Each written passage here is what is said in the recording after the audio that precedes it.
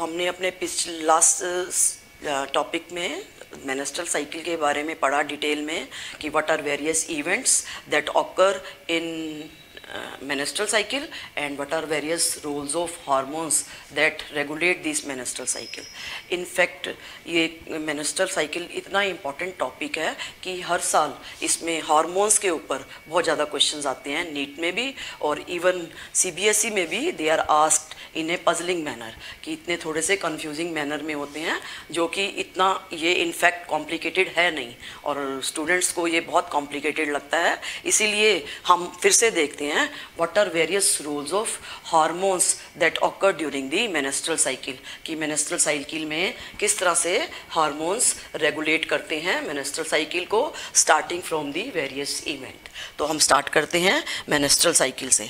तो menstrual cycle में what happens always menses और blood occurs blood bleeding is due to there जिसमें फाइब्रोलाइसिन is converted into जो inactive form में था, और जिसके कारण blood was in inactive condition में तो क्लॉट फॉर्म में था now it has converted into active form और फाइब्रोलाइजिन ने क्या कर दिया ब्लड को लिक्विड फॉर्म में कन्वर्ट कर दिया so that bloods come out bleeding is there for first two five days तो उस वक्त what is a what are various level of hormones? तो during that phase the various hormonal level is very and जैसे कि L H और F S H that are of pituitary gland they come to the basic level basic level पे आ जाते हैं और इसी तरह से जी एन आर एच जो इनको स्टिमुलेट करता है. That is also negligible in negligible amount और इसके अलावा oestrogen and progesterone they also come to their basic level that means they are very less in amount during the menstrual cycle लेकिन NEET में question पूछा गया है if these all the hormones they are compared तो which one is more responsible for the menstrual cycle menstrual cycle के लिए कौन सा हार्मोन रिस्पॉन्सिबल है? तो उसमें सब में से हमने what we have to give the answer progesterone is very less during the menstrual cycle तो प्रोगेस्ट्रॉन का लेवल कम होने के कारण देयर स्टार्ट्स मेनेस्ट्रल साइकिल ठीक है? मेनेस्ट्रल साइकिल और bleeding starts that comes for one two five day तो इस तरह से हमने याद रखना है, लेकिन वैसे all the hormones they come to lower level लेकिन उनके कंपैरिजन में what we have to keep in mind progesterone level is less तो इससे रिलेटेड क्वेश्चंस बहुत बार पूछे गए हैं, नीट में। During two three years back ही अगर हम देख लें तो appropriate appropriate answer that we have to progesterone level that we have to keep in mind कि इसके लो लेवल के कारण क्या होता है मेनेस्ट्रल साइकिल होती है। तो अब हम देखते हैं what happens during the follicular phase follicular phase में as the name is indicating follicles they start forming और इसको हमने प्रोलिफरेटिव फ़ेज़ भी नाम दिया था कि इसमें endometrium lining that becomes more कि उसमें ज़्यादा प्रोलिफ्रेशन हो जाती है and again under the influence of various hormones अब हम देखते हैं कौन से हार्मोन इसमें इंक्रीज होते हैं और कौन से डिक्रीज होते हैं। क्योंकि इससे रिलेटेड भी क्वेश्चन बहुत बार आए हुए हैं नीट एग्जामिनेशन में। लास्ट के टू थ्री यही बैक हम देखें तो बहुत क्वेश्चन हमें मिल जाएँगे। तो इस फॉलिकुलर फ़ेज़ में जैसे कि नाम बता रहा है कि फॉलिक्यूल्स दे स्टार्ट इंक्रीजिंग यानी कि ग्रेफिन फॉलिकल पाँच या छः जो भी हैं, वो इंक्रीज हो रही हैं। प्राइमरी से सेकेंडरी से tertiary and ultimately Graafian mature Graafian follicle जिसमें हम डिफरेंट पार्ट्स देखते हैं कि कौन सा antrum is there theca externa and interna are there corona radiata है start forming start started forming around the secondary secondary दैट इज़ is incomplete stage of meiotic, suspended stage of second meiotic division और उसके अलावा जोना पेलिसुडा भी जो होती है, इसके चारों तरफ़ प्रेजेंट होती है सेकेंडरी ओसाइट के।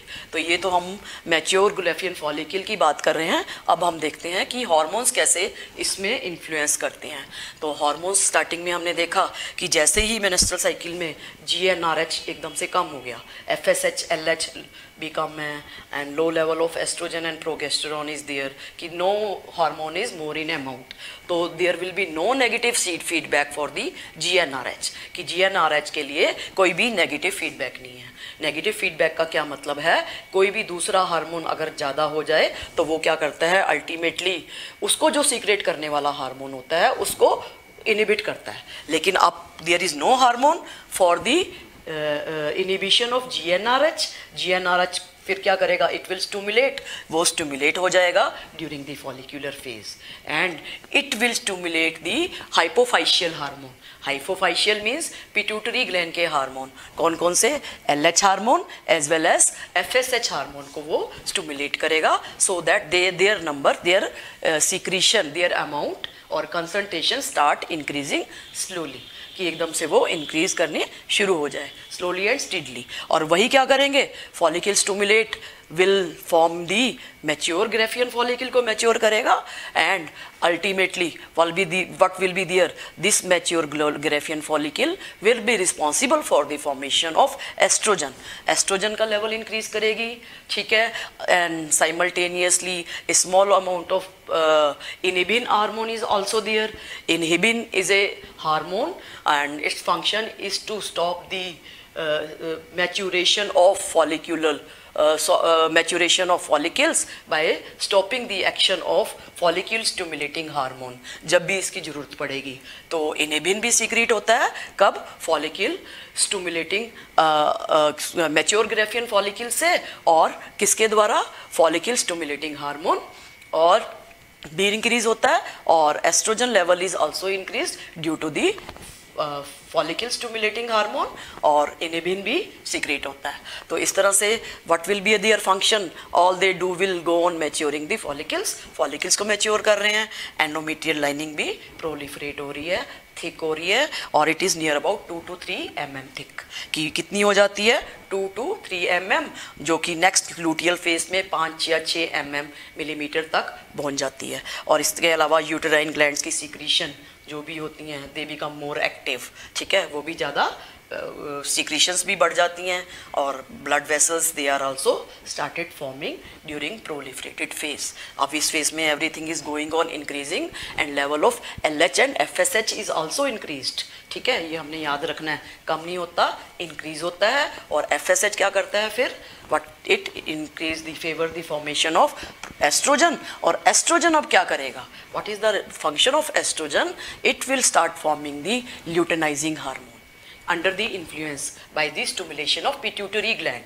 Oestrogen और एल uh, का क्या रिलेशन है?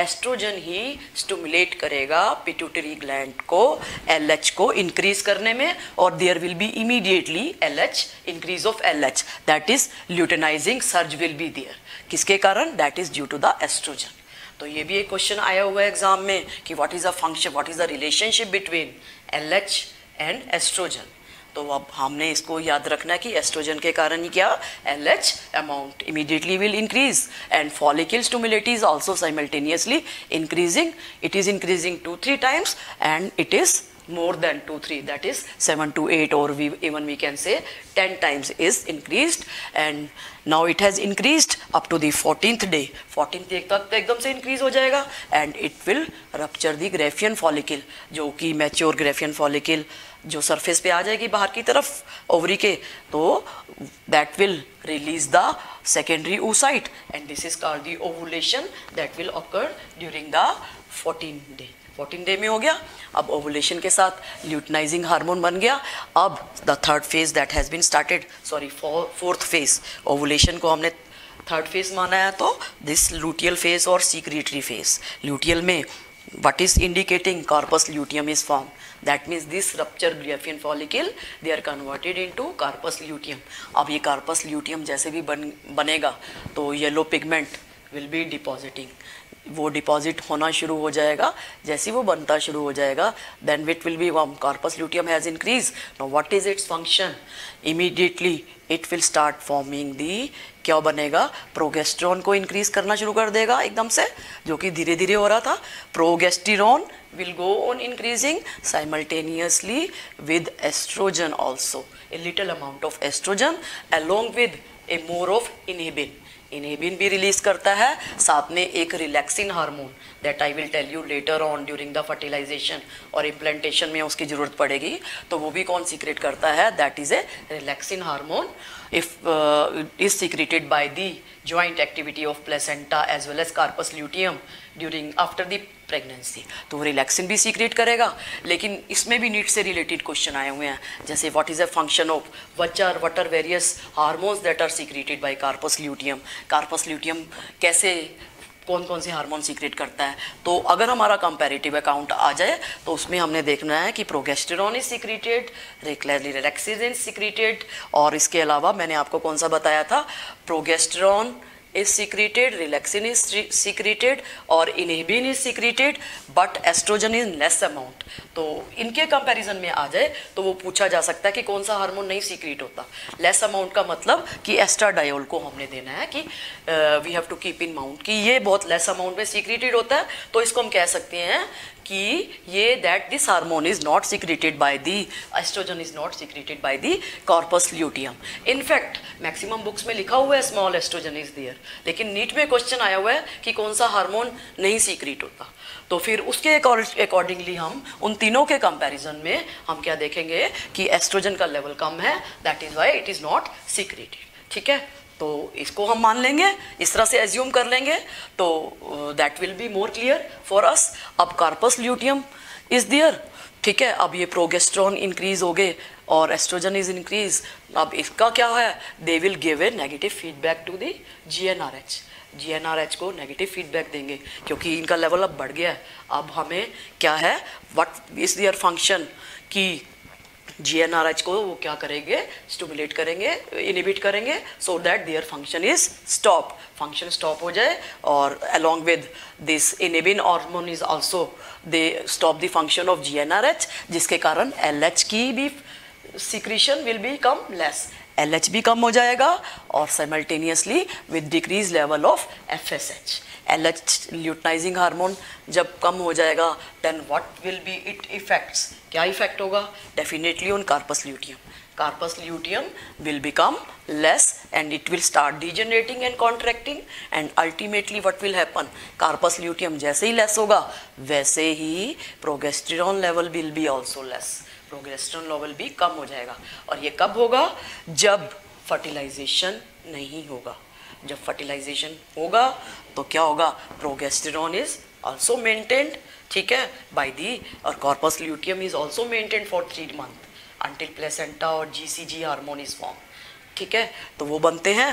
तो जिसके कारण क्या होगा? फर्दर यूट्रस की जो भी प्रोग्रेस है स्ट्रेंथनिंग है दैट विल बी डन लेकिन जब फर्टिलाइजेशन नहीं हुआ तो what will be very less corpus luteum कम होते ही progesterone level will come will very less in amount and along with decrease of oestrogen जैसे ही कम हो गए तो level of what will be there उसके साथ साथ F S H L H hormone is also come also very less corpus luteum कम हो गया. एल एच तो वैसे ही कम हो गया था, जिसके कारण corpus luteum was very less all they are interrelated and then everything will be less and the next cycle will be start next cycle start हो जाएगी। कब स्टार्ट होगी? Again there will be no negative stimulation for the G N R H तो हम कह सकते हैं कि मिनिस्ट्रल साइकिल में जी एन आर एच का लेवल स्टार्टिंग में बहुत कम होता है। लेकिन वो इंक्रीज कब करना शुरू हो जाता है? कब करना शुरू हो जाता है? फॉलिकुलर फ़ेज़ में after the completion of menstrual flow तो इस तरह से हम देखते हैं कि बहुत सारे हार्मोन्स किस तरह से कब ज़्यादा होते हैं और कब कम होते हैं। और अब इससे रिलेटेड जितने भी हम क्वेश्चंस देख लें तो सब इसी के ऊपर ही आए हुए हैं। हार्मोन कब ज़्यादा हैं और कब कम है तो ये हमने एक बार अच्छे से इसको हम देखें और फिर रेगुलरली करने से हमें क्लियर हो जाएगा सब कुछ। तो अब इसके बाद आती है what is an oestrus cycle जो कि एक नॉन प्राइमेट्स में चलती है oestrus cycle that is also a cycle that is during that cycle that occurs in non primates non primates में होती है और it is also a specific heat period and during that period oestrogen level is also high और it occurs in seasonal breeders seasonal breeders में होती है और breeding season में ही क्या होता है? Oestrogen level is very high oestrogen level बहुत हाई होता है और इसमें what happens there is an urge sex urge to receive the male sperm by the female कुछ बिहेवियर साइंस भी होते हैं that are developed in female और एस्ट्राडायोल की सीक्रेशन ज़्यादा होती है but there is no menstrual flow endometrium भी प्रिपेयर होती है everything is there but it is absorb in to the uterus uterus में ही होती है और there are some organisms that are monoestrous monoestrous means जिनमें there is one specific heat period होता है and there are some organisms in, uh, that are uh, polyestrous polyestrous means जिसमें बहुत सारे uh, क्या कहते हैं हीट पीरियड होते हैं या कह लें कि this oestrus cycle is many times during their breeding seasons तो इस तरह से so many different animals they come और वो कौन कौन से होते हैं? मोनेस्टर्स में आते हैं dogs fox deer and bat ये तो आते हैं मोनोस्टर्स मोनेस्टर्स में मोनेस्टर्स मीन्स जिनमें specific heat period in is only one during their breeding season और पॉलीएस्टर्स में कौन कौन से आते हैं? उसमें माउस आता है स्क्वेल आता है काउ आती है हॉर्स होती है हॉर्स आते हैं तो ये सब किसमें आते हैं? पॉलीएस्टर्स में, जिनमें मैनी ब्रीडिंग सीजन्स होते हैं। तो एस्टर साइकिल तो इतना ही लिमिट में ही है that is not even mentioned in our इस चैप्टर में तो नहीं है, लेकिन प्रीवियस चैप्टर में थी, इसलिए मैंने आपको बता दिया। तो अब हम देखते हैं which is our next topic that is uh, after this is fertilization and what are various events of fertilization और वो भी एक बहुत important topic है जो कि अब हम पढ़ते हैं और उसमें कौन कौन से events होते हैं that we are starting now